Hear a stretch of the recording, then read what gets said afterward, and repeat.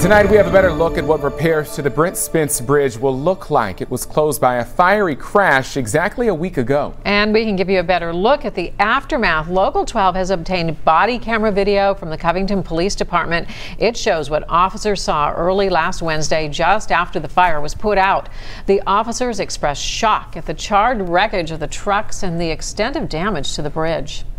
The fire did extensive damage, as we've been showing you, to a section of concrete on the upper deck and also to support beams there. Officials say the structural integrity of the bridge was not damaged. And today we got a look at what the work to repair it will look like. The Transportation Cabinet showed a view of the condition of the concrete on the lower deck of the bridge, the intensity of the heat caused severe damage there, but officials say that concrete can be repaired. The fire also did extensive damage to the underside of the upper deck.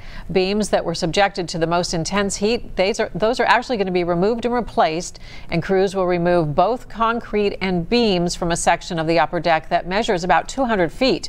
This comes after years of unsuccessful attempts to build another bridge across the river.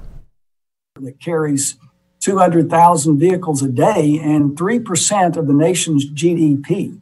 That's a, close to $600 billion. The larger question for the, for, the, for the area here, for this region and beyond, is capacity.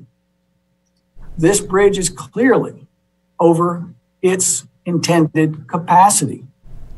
The target date to reopen the bridge is December 23rd. Today, officials took steps to get big tractor trailers off of local roads that aren't designed to handle them.